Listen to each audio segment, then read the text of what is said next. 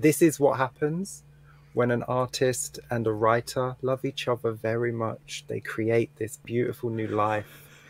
And it's this six issue story of a zombie apocalypse, the beginning of a zombie apocalypse. And I love it. The art is fantastic. The characters mm-hmm. are great. Um, the ending is a twist.